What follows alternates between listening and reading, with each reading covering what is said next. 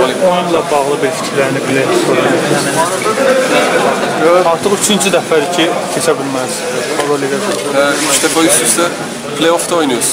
İşte playoff'ta derken bu, grubun son maçında biz de her şeyi veriyoruz yani. Üç maçta da iyi oynadık. İyi oynadığımı düş- oynadığımızı düşünüyorum bu maçta. Hayırlısı yani. Onlar da gerçekten iyi takım yani.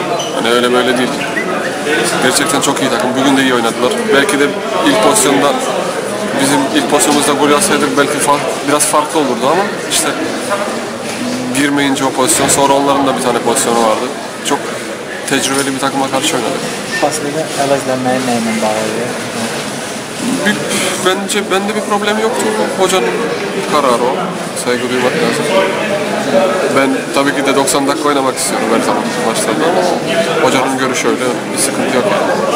Umarım Qarabağ bugün təcrübəsizliyə görə mü qurdu, yoxsa Tecrübesizliğe demeyeceğim. Biz 3 senedir Avrupa'da oynuyoruz yani. Yeterince bizim de tecrübemiz var ama dediğim gibi belki de o kırılma kırılma e, anı o bizim ilk pozisyonumuz oldu. Belki de o gol olsaydı çok daha farklı olurdu. Çok daha farklı bir maç olurdu bence.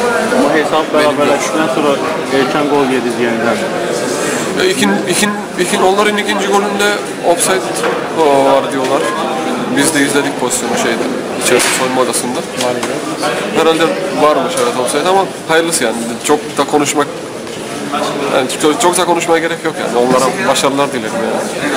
Bu Önüm, maçda önlerindeki, fazla önlerindeki- göstərmədim. Bu yəni, zeminlə bağlı idi, hava soyuğudur, ondan Yo, her, yani baştan biraz sıkıntı çektik belki hepimiz. Biraz top kayıpları oldu. Sonra toparlandık. Dediğim gibi pozisyonlar yakaladık.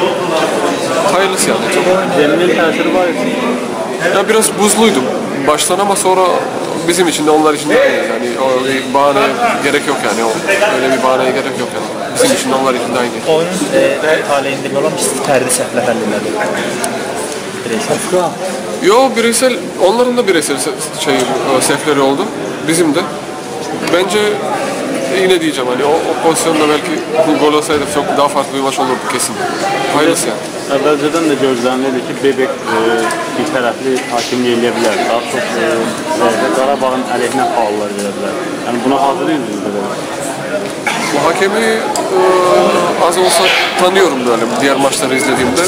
Ama bugün böyle bir çok sefleri olmadı yani. Belki onlar için de bazen verdi, bizim için de bazen yanlış yaptı. Onun hakemle ilgili söylenecek bir şey yok. Təşəkkür Sağ olun.